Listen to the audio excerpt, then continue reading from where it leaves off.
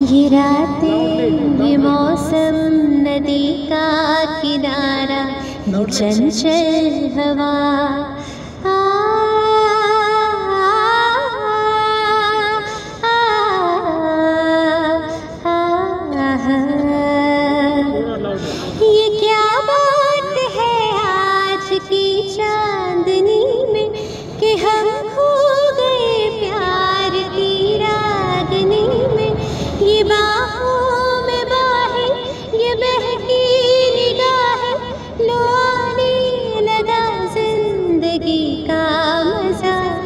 ये रातें, ये मौसम, नदी का किनारा, ये चंचल हवा।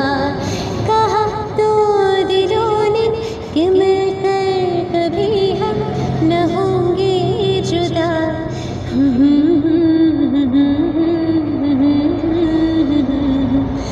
चंचल हवा, ये क्या बात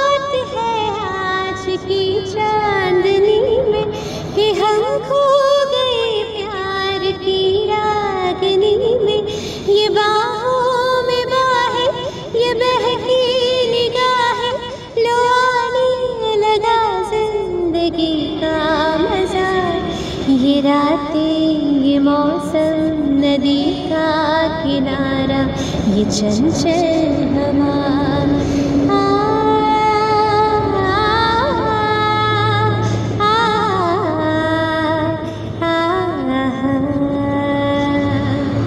आपका नाम? आत्याशा साहू। कहाँ से आप कटक उड़ीसा से। इधर किस लिए आना हुआ? सारेगामापा ऑडिशन में लेवल टू के लिए आई थी। क्या उम्मीद लेकर आया था?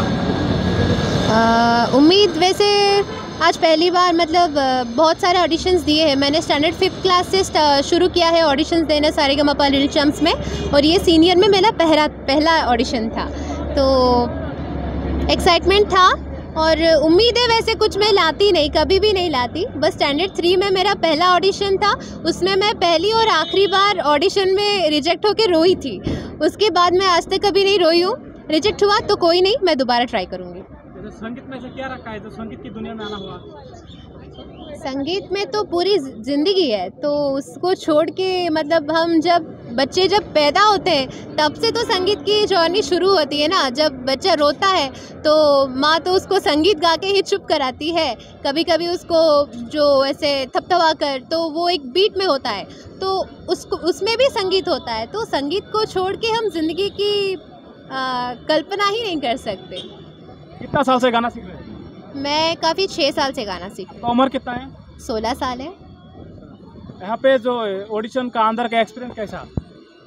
अच्छा था मतलब एक गाना सुने वो काफ़ी दस ग्यारह जूरी मेंबर्स थे। अ, मैं जब गई तो उन्होंने कहा कि तुम्हें देख के अच्छा लगा कि एकदम खुश होके आई हो एक कंटेस्टेंट ऐसी है जो पॉजिटिव वाइब लेके एकदम खुश होके आ रही है। तो मेरे पहले भी कुछ कंटेस्टेंट्स थे वो काफ़ी एकदम सीरियस होके एकदम प्रेशर कुकर बन के गए थे और मैं होके एकदम silly girl like it's all right आप लोग कहाँ कहाँ से आया था यहाँ पे ऑडिशन के लिए? मैं कटक से उड़ीसा उड़ीसा. इतना दूर से कोलकाता? हाँ क्या कहेंगे पूरी दुनिया आपको देख रहा है? अच्छा लग रहा है और रिजेक्ट हुई तो कोई बात नहीं मैं दोबारा ट्राई करूँगी। पेरेंट्स लोग क्या करती है? सपोर्ट करते हैं तुमको बहुत? हाँ बहुत सपोर्ट करती हैं। उनके सपोर्ट के बिना तो मैं यहाँ तक पहुँच भी नहीं पाती। अच्छा लगा। Okay thank you thank you